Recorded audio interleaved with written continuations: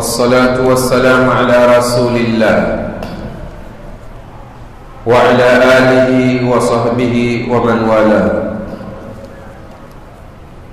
وأشهد أن لا إله إلا الله وحده لا شريك له. وأشهد أن محمدا عبده ورسوله.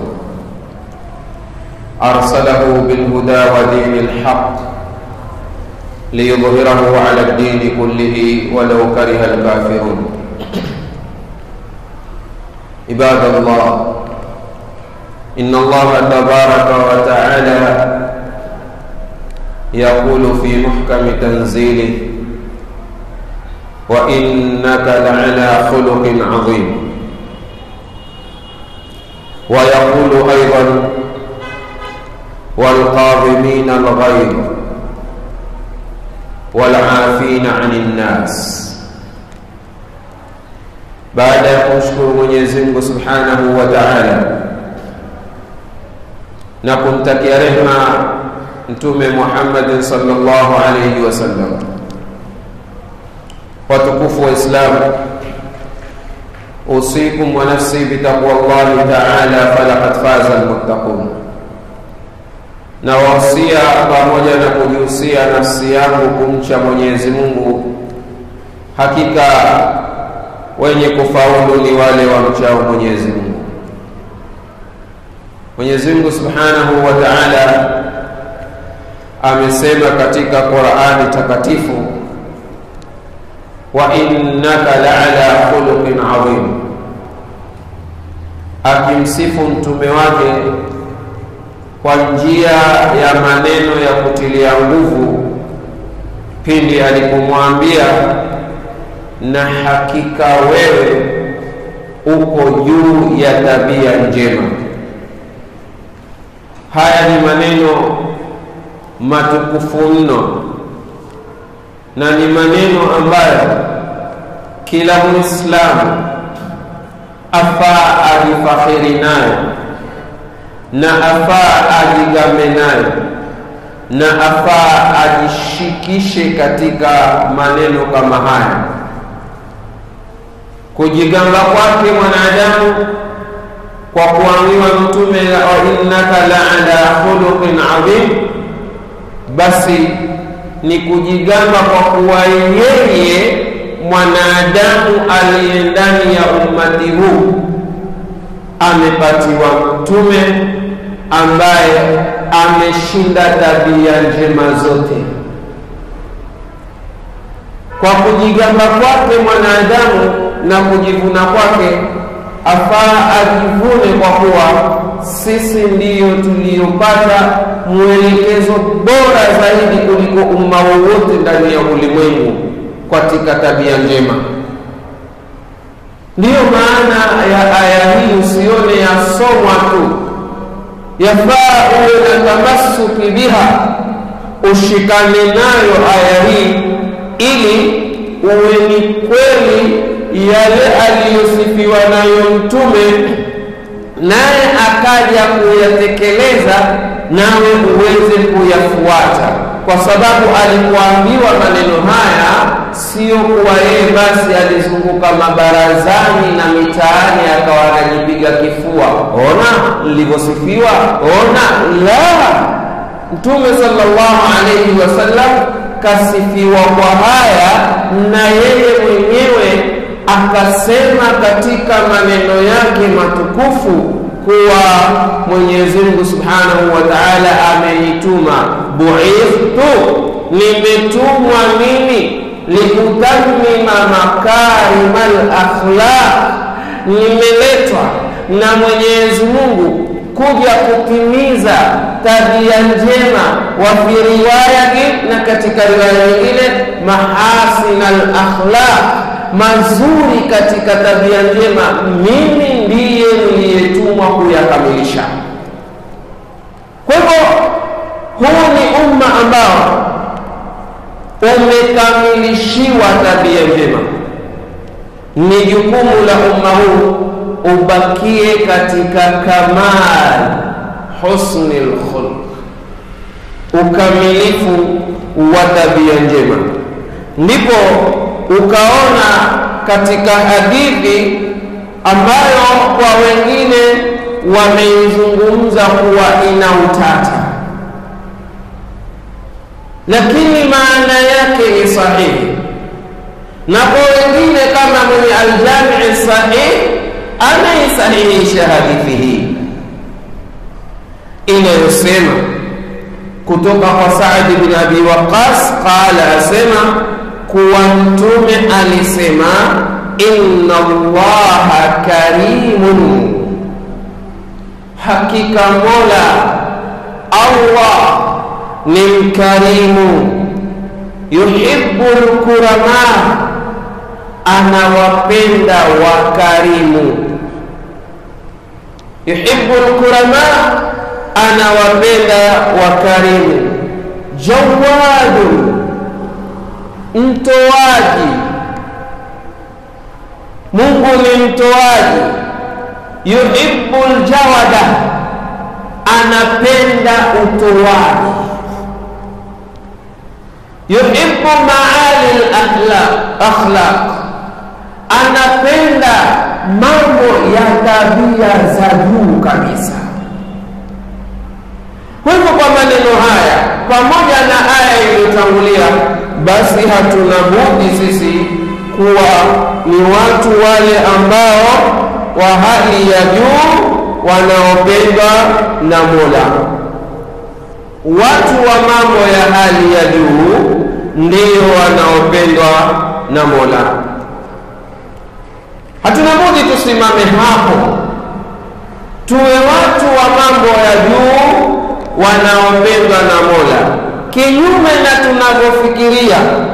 Sisi huja tukajiita watu wa high class, watu wa hali ya juu, ikawa sivyo ilivyo, kwa sababu wengi wanaofikiria high class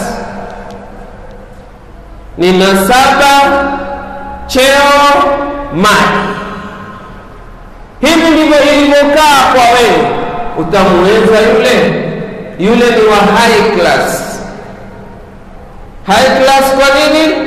Ana cheo cha hali ya juu. Utamweza yule yule ni wa high class. High class kwa nini? Ana mali. Utamuweza yule yule ni high class, ana? Ile familia fulani. Lakini uhakika wa high class ni tabia njema, kwa sababu ndipo aliposifiwa Mtume akaambiwa, wa innaka la ala khuluqin adhim. Hal qila lahu hadha au wusifa bihadhihi sifat limalihi, aliambiwa kwa hili kwa sababu alikuwa mtajiri mno Mtume? La. Aliambiwa kwa kuwa ana tabia ya hali ya juu. Kwa hivyo wajijue, wenye mali zao hawajakuwa high class ya hakika, ikiwa mali zao haziwatumi katika tabia njema. Wajijue wenye familia, watu wanaosema kwamba hizi familia kubwa, usifanye mchezo nao, hawajakuwa na uhakika wa high class, ikiwa familia zao si familia zinazosimama katika tabia njema. Wajijue wenye vyeo kwa vyeo vyao, kuwa wao hawajapata uhakika wa high class ikiwa vyeo vyao havitekelezi tabia njema, kwa sababu hii ni sifa amesifiwa Bwana Mtume sallallahu alaihi wasallam, wa innaka la ala khuluqin azim, la ala khuluqin azim, tabia ya hali ya juu. Sasa angalia haya maneno tuliosema katika hadithi ambayo maana yake ni sahihi, haina utata. Ni nani atakayepinga kuwa Mwenyezi Mungu si? Akasema si mkarimu? Hakuna. Kila mmoja anakubali kuwa Allah karimu. Mwenyezi Mungu ni mkarimu na amewakirimu waja, na akasema walaqad karamna bani adam, hakika tumewakirimu binadamu, wanaadamu. Nani ambaye hakukirimiwa? Tosha tu kwa kuwa wewe umbo lako halifanani na wengine katika viumbe wa Mwenyezi Mungu. Hufanani na mnyama wewe, hufanani na jini, hufanani na malaika, hufanani na mti, hufanani na bahari, hufanani na ardhi, hufanani na nyota. Umbo amekukirimu nayo, kisha akakukirimu kwa kukupa na akili. Kwa hivyo, inna Allaha karimu, hiyo ni takrima moja na ziko nyingi ambazo huwezi kuzihisabu. wa in tauddu ni'matallahi la. Jawadu, mtoaji. Nani ambaye hajapewa na Mola? Hawezi zuka yoyote katika ulimwengu akasema mimi sijapata kitu kwa Mungu hawezi na wala hatoweza na wala hatozuka mwenye kusema hakika mimi sijapata kitu kwa Mola wala sijapewa na Mola. Kuwa ukiangalia mwili wako vyote ni vipawa kutoka kwa Mola Allah subhanahu wa ta'ala. Kakupa jicho bila gharama, kakupa shikio bila gharama kakupa mkono bila gharama, kakupa pua bila gharama, kakupa tumbo bila gharama, na viungo tofauti bila gharama,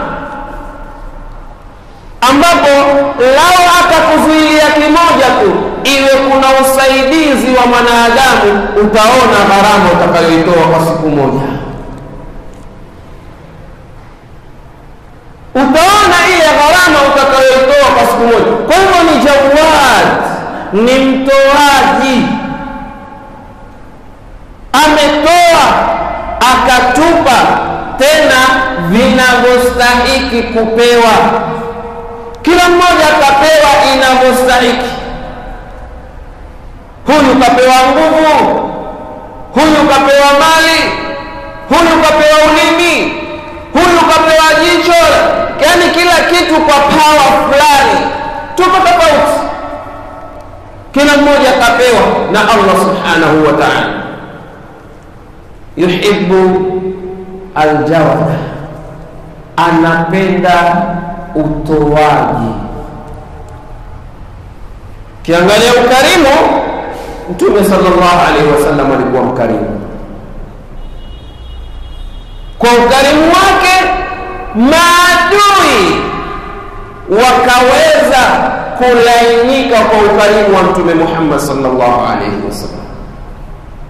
Kwa hivyo Mtume ni kipenzi zaidi katika vipenzi wa Mwenyezi Mungu, na umma huu ni bora zaidi katika umma ulio katika ulimwengu, na hapana budi sisi tuwe wakarimu ili mapenzi ya Mwenyezi Mungu Subhanahu wa Ta'ala ambayo Mungu kampenda mtume wake, na sisi tuhakikishe kwa ummati wetu tumekuwa hivyo.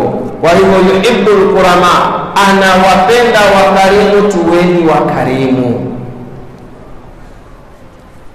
Anapenda utoaji, tuweni watoaji, tusiwe kinyume na alivyokuwa Mtume sallallahu alaihi wasallam. Hapakutokea kwa Mtume sallallahu alaihi wasallam kuombwa akaacha kutoa kumpa aliyemwomba, pamoja na kuwa yeye mwenyewe alikuwa iwatoa kabla ya kuomba na ajapo mwenye kuomba kuomba alikuwa hamrejeshi ndipo mtume hata alipokosa cha kutoa hakuweza kumfanya yule aliyekuja kuomba arudi khaiban arudi mtuku angalieni kisa maarufu ambacho mwakijua munazungumziwa kila siku. Mgeni aliyekuja kwa mtume amekuja kwa mtume mgeni hana cha pakulala mgeni hana cha kula. Pakulala si neno msikiti wa mtume huko hiki, hiki chakula kiko wapi? Hamna. Na amekuja kwa nani? Mtume kwa hivyo mgeni ana mahitaji kwa mtume sallallahu alaihi wasallam na anachokihitaji hakipo kwa mtume sallallahu alaihi wasallam ambapo kimoja ni takrima ya chakula. Faqala sallallahu alaihi wasallam kuonyesha haregeshi mtu mwenye haja kwake. Qailan man yudhifu dhaifa rasulillahi sallallahu alaihi wasallam nani atakaye mkaribisha na kumkirimu mgeni wa mtume sallallahu alaihi wasallam angalia amemtafutia mpaka sababu ya kuwa hatoki patupu kupitia kwake bwana mtume sallallahu alaihi wasallam karimu mwenye kupenda kutoa. Ndiyo mapenzi ya kwanza yakawa kwake bwana mtume sallallahu alaihi wasallam na kwa umma wake leo utaiga sampuli hii. Basi zawadi ni kubwa. Mmoja ni huyu ambaye alipokea mgeni wa mtume sallallahu alaihi wasallam zawadi aliyoipata ni dua ya mtume sallallahu alaihi wasallam kwa mambo aliyofanyia mgeni yule mazuri ili awe amekipata alichokitarajia kwa mtume kwa sababu tarikhi inatwambia kuwa na wao pia hawa walompokea mgeni hawakuwa na chakula cha kutosha. Kilichokuwa kimebakia ni chakula cha watoto wakiulizana kuna nini? Asema hamna kitu isipokuwa ni chakula cha watoto. Kauli inakuja watoto walalishe walalishe na wakafanya hivyo na wao wakiwa wametangamana na huyu ili aone kwamba wala pamoja wakafanya waliyoyafanya kwa kuzimwa taa ili mgeni kile alichokitarajia kwa mtume sallallahu alaihi wasallam. Na kile alichokitaka mtume akipate mgeni kipatikane wakaangusha taa kukawagiza. Bwana huyu apeleka mkono katika sahani akiregesha na mgeni atia mkono katika sahani akichukua chakula akila. Watu walimfahamu mtume na wakafanya wakawa wakarimu wakaendeleza wakaeneza udugu na umoja na maendeleo.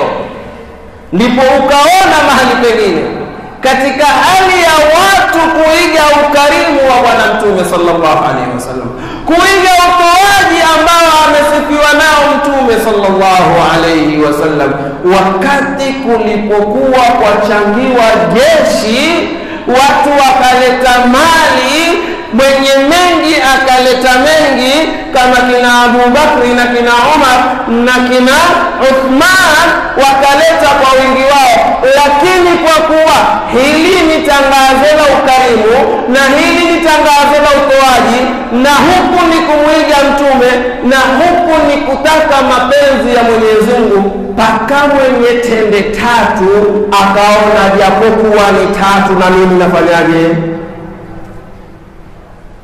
Huku ndiko kumfahamu mtume sallallahu alaihi wasallam na huku ndiko kuungana na yeye kuuinua umma huu isiwe ni tabia za umma wale baadhi yao kukitajwa katika ukarimu, watu huzungusha nyuso kumwangalia fulani, huyu tabia yake ni mkarimu, ndiye atankirimu. La, haiendi hivyo.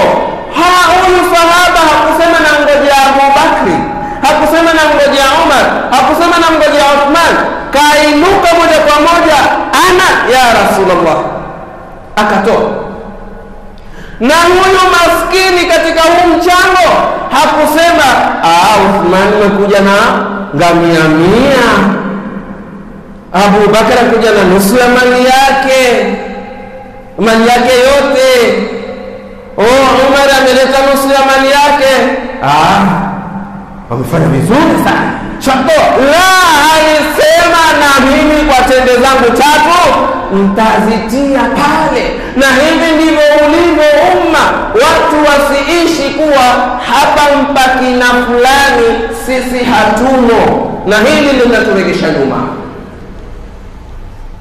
Kwa kadri ya nafasi yako, tumia kuuendesha Uislamu mbele, tumia kuchoma mahaba ya Mwenyezi Mungu Subhanahu wa Ta'ala, tumia kuonyesha kuwa wewe ni mfuasi wa Mtume sallallahu alayhi wasallam. Ndipo wanavioni wakazungumza kuhusu hili ya kuwa Mtume sallallahu alayhi wasallam yeye mwenyewe kusifiwa kwa tabia hii, wa innaka la ala khuluqin adhim, yani tabia hii ya karam, kana sajiyatuhu, ilikuwa ndiyo tabia yake na mwendo wake, na alikuwa Bwana Mtume sallallahu alaihi wasallam kama anavyosema Junaid, sammallahu, Mwenyezi Mungu amemuita yeye kuwa lahu khuluqun adhim, kuwa ana tabia kubwa mno.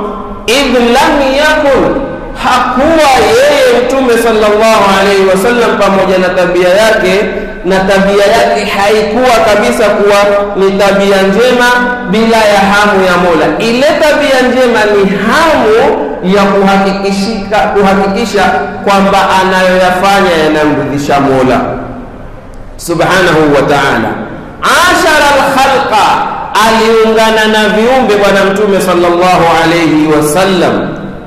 Wazayala biqalbihi, na akaondosha mabaya kwa moyo wake. Fakana dhahiruhu, ikawa nje yake Mtume sallallahu alayhi wasallam maa alkhuluqi, ni tabia njema. Wa batinuhu, na ndani yake maa alkhuluqi na tabia njema. Alikuwa wa tabia njema ndani na nje, sio tabia za baadhi ya watu kuwa ukimuona uso mashallah, akuchekea bashasha, akufungulia meno ukamwone wacheka, kumbe ndani wachomeka. La, hakuwa hivyo Mtume sallallahu alaihi wasallam, alikuwa nje na ndani na tabia njema akizionyesha.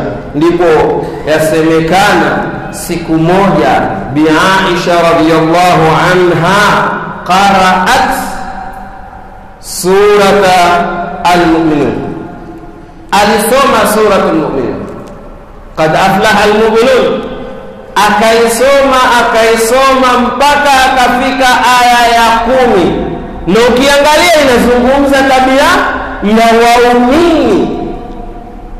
Alladhina hum fi salatihim khashi'un, yaeleza yale mambo mazuri yote ambayo Mtume sallallahu alaihi wasallam anayo na yanatakiwa kwa waumini. Fasuilat, alipomaliza akifika aya ya kumi, Bi Aisha akaja akaulizwa, akaulizwa akaambiwa, ma khuluquhu sallallahu alaihi wasallam umetusomea hizi tabia njema, hebu tuambie ni ipi tabia yake Mtume sallallahu alayhi wasallam? Faqalat kana khuluquhu alquran, Mtume tabia yake ilikuwa ni Quran, ay adabuhu, adabu zake Qurani iliyofunza, vile vile wa awamiruhu na maamrisho yake Qur'ani ambayo imeeleza. Akaleta taabira Ibn Abbas kuhusu neno hili kuwa mtume tabia yake ni Qur'ani wa abara yeye Ibn Abbas akaleta taabira na vile vile Mujahidi ambaye mwanafunzi wake an khul anil khulqi kuhusu hii tabia akasema bidini kuwa ni dini. Kwa hivyo mtume sallallahu alaihi wasallam tabia yake ni dini. Na wewe iangalie dini. Ivile ilivyo inavyosema ndiyo utakuwa umemfuata bwana mtume sallallahu alaihi wasallam. Washara na sheria. Hivi ndivyo tulivyofunzwa na bwana mtume sallallahu alaihi wasallam. Kisha hadithi hii tuliyoitaja kwa maneno ambayo yametajwa na wanavyoni kasema kuwa baada ya kuwa yeye anapenda vile vile utoaji anapenda mambo ya juu wayakrahu na anachukia safsafa yale mambo ya chini ikiwa kuna kitu juu Mwenyezi Mungu anachukia nini? Albukhl, utoaji, ubakhila, Mwenyezi Mungu anachukia ukarimu, ugumu na uovu, Mwenyezi Mungu hapendi. Maneno mazuri, matusi, Mwenyezi Mungu hapendi. Watu kufanya islahi, kuteta, Mwenyezi Mungu hapendi. Watu kusaidiana, watu kutupana, Mwenyezi Mungu hapendi. Watu kujanga, watu kuvunja, Mwenyezi Mungu hapendi.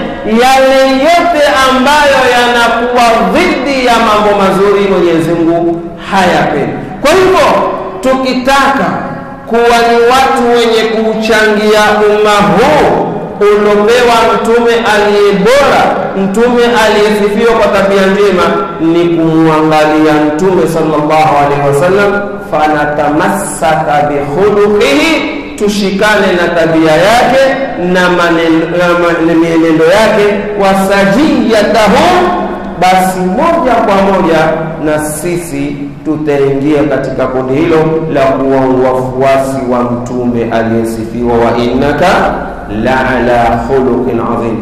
Tumwombe Mwenyezi Mungu atujalie kuwa ni watu wenye tabia njema, watu wa hali ya juu ambao wanapata mapenzi ya Mwenyezi Mungu, nasi tuyapate mapenzi ya Mwenyezi Mungu kwa kushikana na sunna zake Bwana Mtume sallallahu alaihi wasallam na kuepukana na bid'a na uzushi ambao Mtume sallallahu alaihi wasallam alitutahadharisha nao. Barakallahu